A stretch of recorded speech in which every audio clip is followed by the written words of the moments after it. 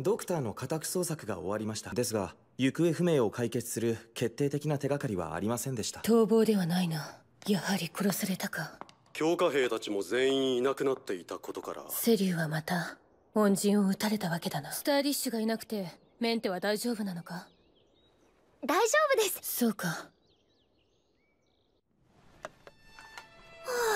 実験に耐えられたのは見事だったわねその力で目的のために頑張りなさい。私の大切な人がみんな族に殺されていく。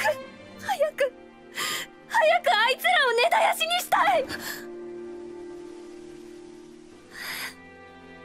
隊長。よし。バシッとセリュウを元気づけてやるぜウェイブには無理だと思うよ。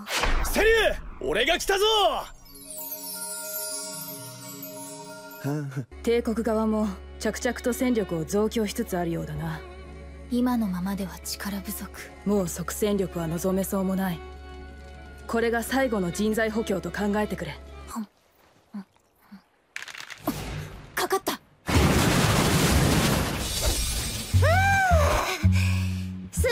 作る食事は美味しいなだから言っただろうスサノオはすごいといや今までスサノオは眠っていたのだが私に反応して動き出したんだ。